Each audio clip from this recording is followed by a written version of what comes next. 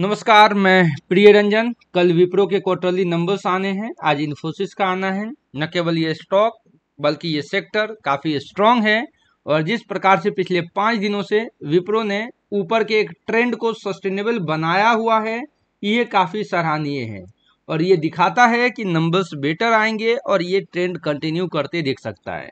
आज इस स्टॉक ने एक अमेंडमेंट करा है, जहाँ एडिशनल कंपनी जो है सब्सक्रिप्शन 1.44 बिलियन मिलियन का जो है, वो करेगी होवन एनर्जी में, जहाँ रेनवल एनर्जी यूजेस जो है कंपनी के, उसके एडिशनल कैपेसिटी बनाएगी।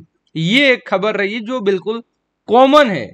इसका कुछ भी इम्पैक्ट होने दिखने नहीं है। रिसेंट में कुछ बड़े अनाउंसमेंट नहीं रही और इस समय स्टॉक का वॉल्यूम अराउंड 50 लाख के आसपास का है।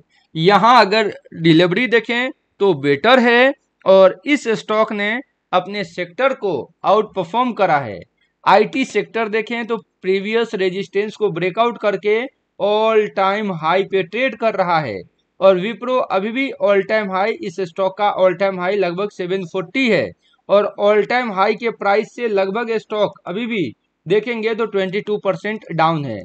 रिसेंट रेजिस्टेंस को ब्रेकआउट करा।